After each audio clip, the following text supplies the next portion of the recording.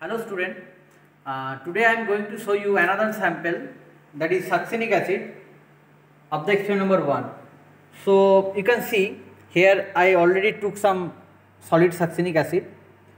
So like the previous day we have to perform first of all preliminary test then after that confirmatory test. So for preliminary test you have to follow the flow chart, flow chart which is provided in the user practical user manual user book. So according to the flow chart the first test is what? For the solid sample solubility in water no heating. So for this test what we have to do? We have to take a test tube first of all. Then we have to add some we have to take some solid sample inside the test tube. And then we have to pour some distilled water over here. Now we have to shake the test tube like this way. And uh, succinic acid takes more time to soluble in cold water in normal water. So it takes some time to soluble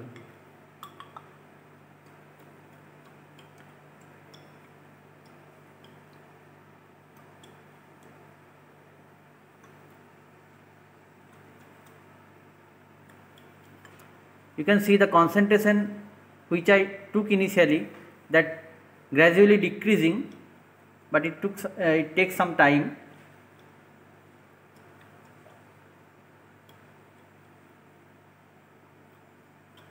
I think I have to add more water over here. Maybe this solution is saturated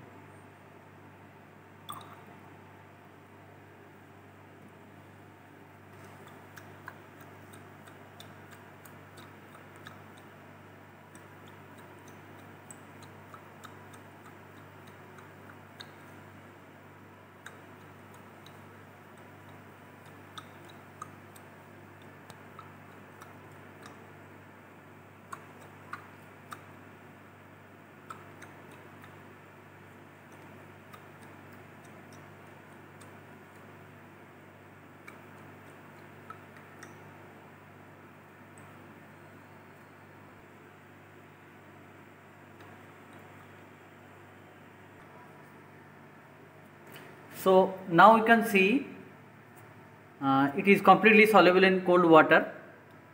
As I told it takes some time so you can see you already see it's take a lot of time. So now our solubility is done. So once we completed solubility in cold water in water so that means it's soluble so you have to follow this path so soluble the uh, soluble then after that coming test is what? Blue litmus. Blue litmus test so for the blue litmus test we have to take a aqueous solution of of our sample and then we have to check the acidity with the blue litmus paper so in the first test we already prepare a aqueous solution of sample. So here is the litmus paper. So just roll the paper like this way and I just going to put this one inside the container inside the test tube incline the test tube and yeah. So you can see the color of the paper is changed into the red. So that means you can consider this is a acidic solution. So our litmus test is also completed.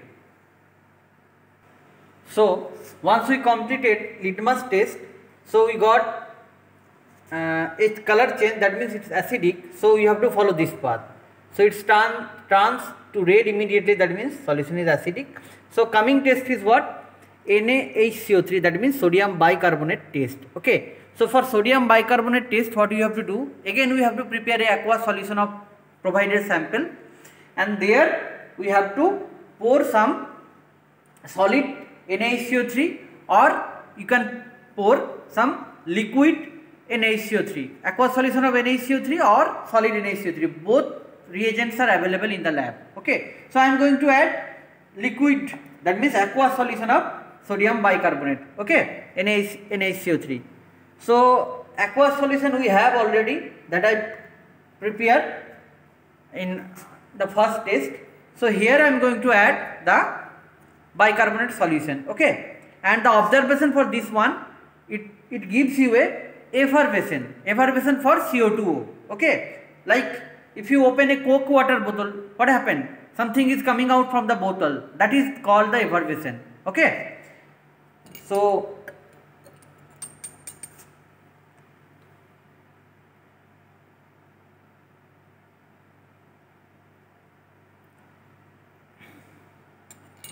see you can see bubbles are coming out from the from the test tube from from inside see yeah. Okay.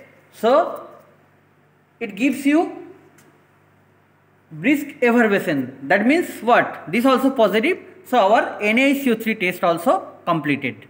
Right. so as we completed NaHCO3 test, we can understand that means our sample, this is known, if it is unknown then you can understand that is a acidic, provided sample is a acidic sample because only organic acids are gives you the brisk effervescence in NaHCO3 test, okay. So, coming one is the Danic test. So, for Danic test what we have to do? Again we have to prepare a aqueous solution of our provided sample for the succinic acid and there you have to add Danic reagent. Okay. So Danic reagent, reagent is chemical which you can find a chemical which you can find inside the laboratory and this is the Dannig reagent. Okay. So I am going to add this one in the aqua solution of our provided sample. Okay. So aqua solution is as you see it takes lot time to prepare the aqua solution that is why I prepared the aqua solution already. Now I am going to add the Dannig reagent into this. Okay. So, this is the Dannig reagent. So, I put this one over here.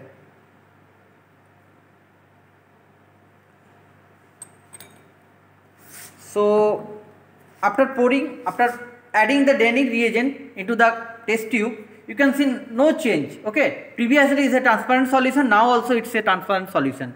So, that means according to flowchart, if we got white precipitation in cold, that means it's oxalic acid Otherwise, if no PPT in cold, this is cold, in the cold state, I just add the Dannig reagent. So, no, no PPT. So, we cannot find any PPT over here. That means, we have to go to the next part of the test. Next part is what? For the succinic acid, citric acid and tartaric acid, we have to boil this, this test tube in the hot water bath and there we have to add the KMnO4. Okay. So, I am going to boil this one in the hot water bath. So for that a test tube holder is needed. So I just hold this one with the help of the test tube holder and I am going I am uh, putting it inside the hot water bath. Dot. So yeah, it's it's boiled already. So now we have to add potassium permanganate that is KMnO4 into this. Okay. So, potassium permanganate that means KMnO4 also you can find inside the laboratory that is also a provided chemical or reagent.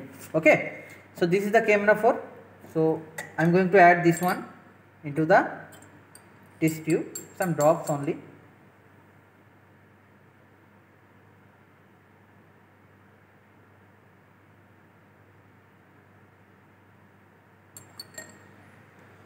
So, for this test you can find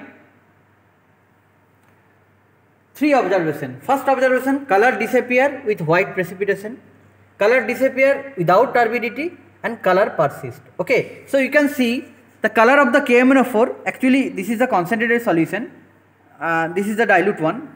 Uh, I added this one in the aqueous solution that means our concentrated potassium permanganate also diluted over here. So, color of the permanganate is violet color okay so this color you can find this is persist over here that means we can say our sample is succinic acid and also we can say this test is positive for the succinic acid okay? So our Dannig test is also over okay? So we are completed Dannig test okay?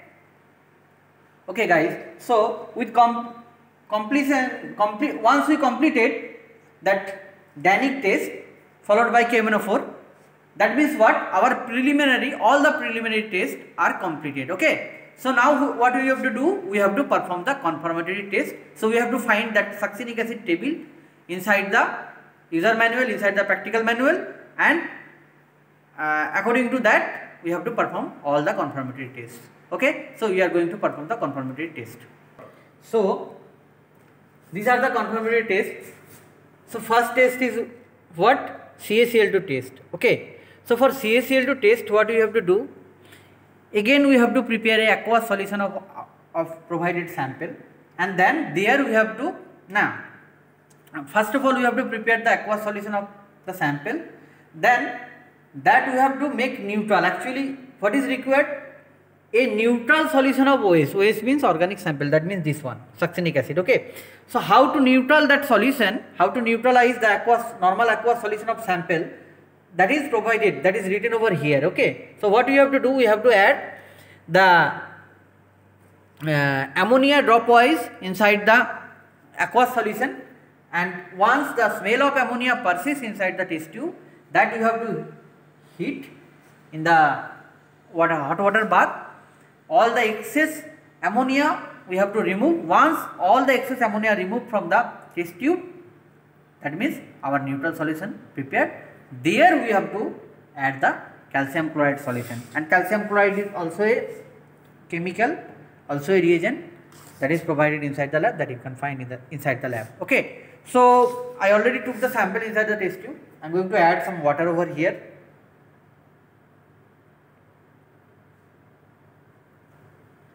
And again I am going to make the aqueous solution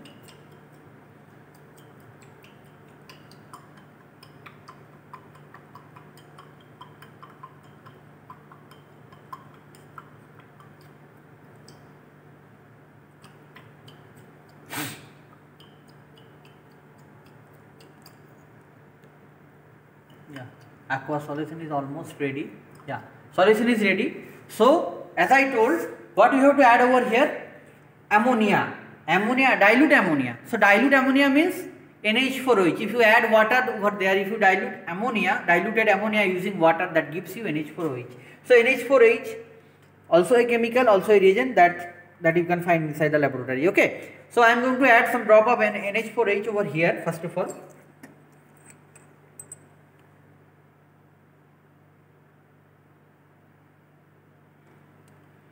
and check the smell. Yeah ammonia smell is coming out from the test tube. That means what? Smell of ammonia persists over here. So we have to heat this one in the hot water bath using the test tube holder. So this I am going to put over here in the water bath. Okay so just check the smell. Yeah. Nothing no smell of ammonia. That means what? Our neutral solution is prepared. So here we have to put the calcium chloride solution. Okay. So this is the calcium chloride reagent. I'm going to add this one over here.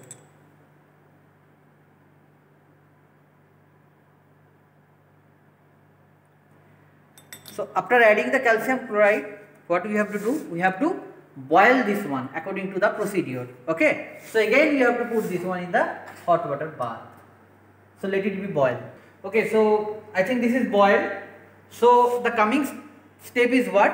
We have to scratch the inner wall of this test tube with help of the glass rod. Okay. So we have to hold the test tube like this way and we have to scratch it using this glass rod okay so i am going to scratch this one.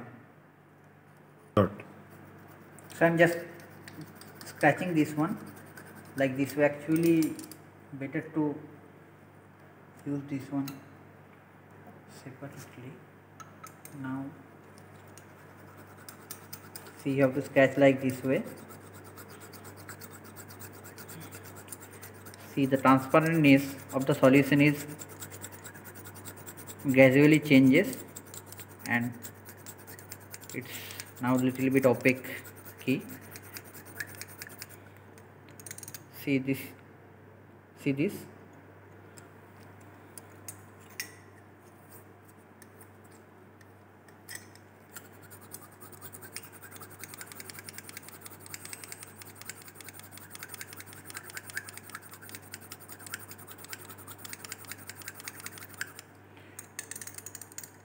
so you can see the this is not a good precipitation. If you scratch this one for a while for 2 to 3 minutes then all the precipitation will become. So you can understand the precipitation is already started. So that means no need to show it for that much. So you can understand this is the precipitate okay? So our calcium chloride test is also over. Okay. So we have completed CaCl2 test. Coming test is what? Silver nitrate test, AgNO3 test. So for AgNO3 test, what you have to do? We have to prepare a solution and there we have to add the AgNO3 solution. Actually, for the better result, we have to prepare a Tollens reagent. Not better to use Tollens reagent instead of silver nitrate, AgNO3. Okay. So aqueous solution is already prepared over here. Okay. This is the aqueous solution of succinic acid and Tollens reagent also I already prepared over here. Actually the procedure of preparation of Tollens reagent I already show you in the previous uh, video when I did the glucose. Okay. So this is the Tollens reagent. So I am going to add the Tollens reagent inside the aqueous solution of our sample. Okay. So I am going to add this one. Yeah. So you can find the white precipitation is coming. So positive observation for this test is what white precipitation and that will be soluble in dilute NH4OH okay. So here you have to add the NH4OH but after adding the NH4OH this white precipitation, precipitation will be soluble. So this is the NH4OH I am going to add this one.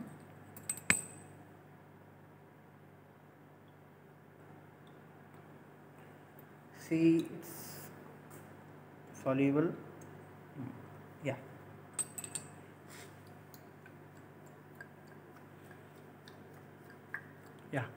so you can see this is soluble. Okay. So that means what? We got positive observation in this case also. So our silver nitrate test that means AgNO3 test is also completed. Okay. So we completed first two tests. The third test is what? Danning test. Okay. So Danning test we already did in the preliminary part. So no need to perform the Danning once again. Okay. So observation is here. Okay. So no need to do this one again. So we, we are going to do the next test. So next test is, is what? Fluorescent test. Okay. So for fluorescent test what we have to do? We have to take a dry test tube, not a wet test tube. Okay. A dry test tube. In that dry test tube we have to add some amount of solid sample and there you have to add resorcinol that should be twice of the added solid sample. Okay. So I am going to take these two things first of all. So here I am going to take the sample this much of sample. I added over here. And that means double of this I have to add the resorcinol okay. So resorcinol you can find inside the laboratory as a reagent. So this is the resorcinol and I am going to add double of the that taken sample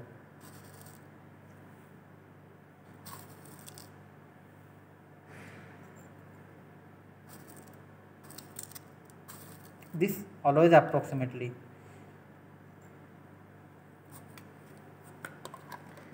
So we have to take these two things sample is to resorcinol is 1 is to 2 ratio. Okay. So now what we have to do? We have to add some concentrated H2SO4 some drop of concentrated H2SO4 in this mixture. Okay. So here you can find the concentration concentrated H2SO4 and once again one when you are going to use when you are going to deal with the concentrated H2SO4 always handle this one carefully okay so I am going to add some drop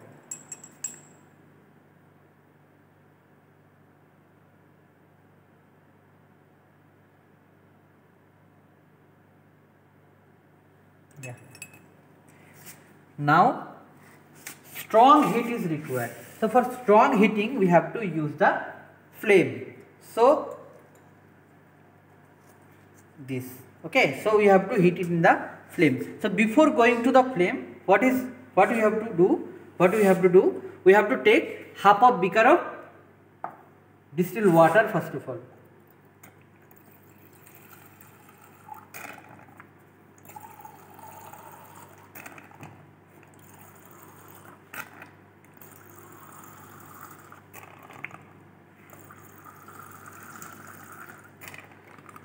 Yeah so this I keep aside of the flame.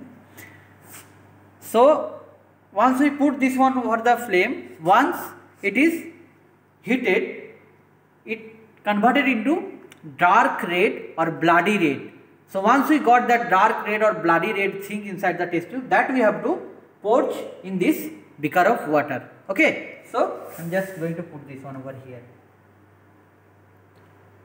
so you can see the color changes into dark red or into the bloody red. Yeah. So this I am going to pour over here pour over here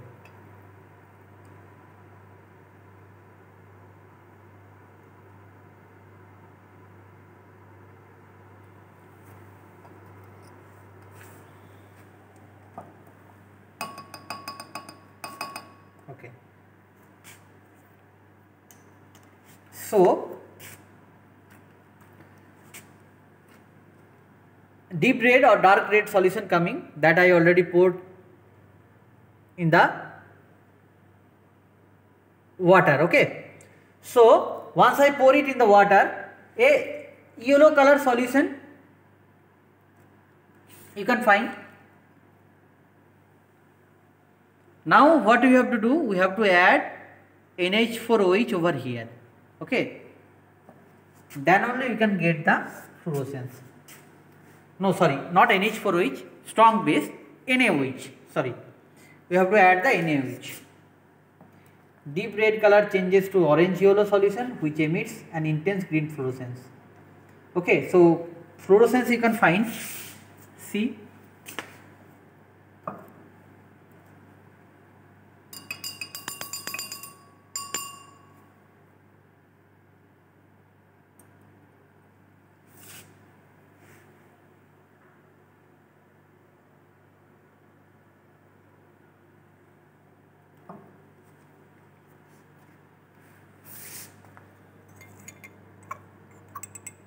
now I'm going to add the strong base over here color will be changes actually. Orange to red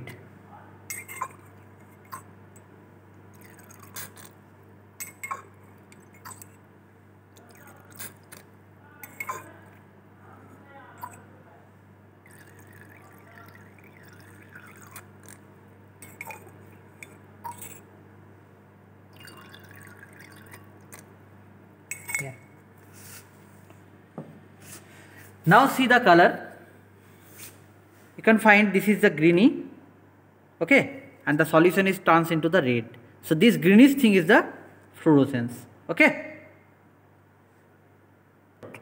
So that means what? Fluorescence is also completed. Beautiful fluorescence is already comes over here. So you, you can understand the color green and this whole the th whole thing is reddish but from the above and the part is greenish okay? So all the confirmatory test so all the confirmatory test of the succinic acid are done okay? Okay so all the confirmatory test completed. So that means it is confirmed that the provided sample is succinic acid. So how to write it? All the test which we completed over here that uh, you can get a instruction from the uh, your from your faculty. So that means what? It's completed. So that's all. Thank you guys